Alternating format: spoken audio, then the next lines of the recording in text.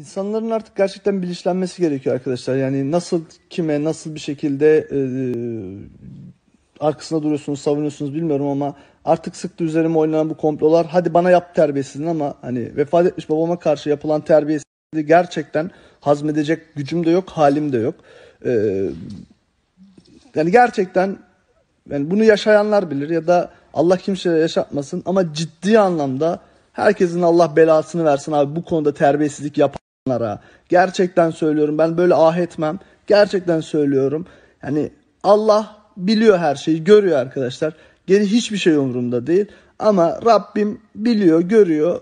Doğru olan her zaman yıllar geçse de ne zaman kadar süre geçerse geçsin doğru yolu bulunur her zaman ve hak yerini bulur arkadaşlar. O yüzden benim gönlüm de ferah, içim de rahat ama böyle bir terbiyesizlik, böyle bir e, ağzıma alamayacağım şeyler yap, yapılması çok yersiz.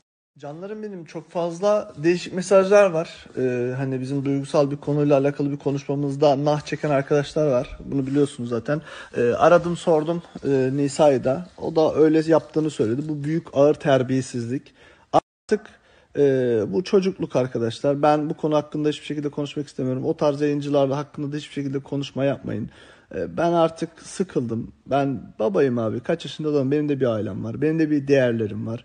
Bu büyük ağır hakaret içeren bir şey. Gerekli yerlerle de görüştüm arkadaşlar.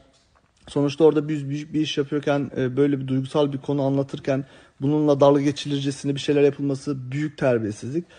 Yani çok fazla kırıldım, çok fazla moralim bozuldu. Yalan yok, sinirliyim de. Yani gerçekten söylüyorum. Büyük konuşursam çok büyük konuşacağım. O yüzden susmayı tercih ediyorum.